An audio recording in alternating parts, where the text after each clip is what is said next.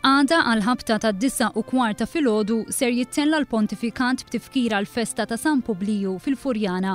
Din il-quddiesa ser tkun qed tiġi nkonċelebrata mill-Arċisqof ta' Malta Pawlu Cremona, assistit mill-Patri Albert Micallef. Preżenti għal din iċ-ċelebrazzjoni ser ikun hemm il-President ta' Malta George Abela, il-Prim Ministru Joseph Muscat u l-Kap tal-Oppożizzjoni Lawrence Gonzi. Wara din il-quddiesa l-President u l-Arċisqof ikunu l-mistednin ewlenin waqt riċiviment fil-Każin tal-Banda Vilhena bħala tradizzjoni li jsir nhar il-festa ta' San Publiju. Il-briju fit-toroq tal-Furjana jilħaq il-qofol tiegħu wara nofsinhar bil-marċ tradizzjonali. Sadanittant, illejla mistenni jittela' l-Festival tan-Nar tal-Art fuq il-Fosos tal-Furjana. Ħmistax il-kumpless tan-nar ser ikunu qed jieħdu sehem f'dan il-festival.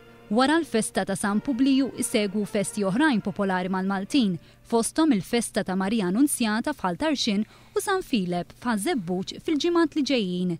Madankollu l-qofol tal-festi jintlaħaq matul ix-xhur tas-sajf, b'dawk l-aktar popolari jkunu bejn l-aħar ġimgħa ta' Ġunju u l-bidu ta' Settembru.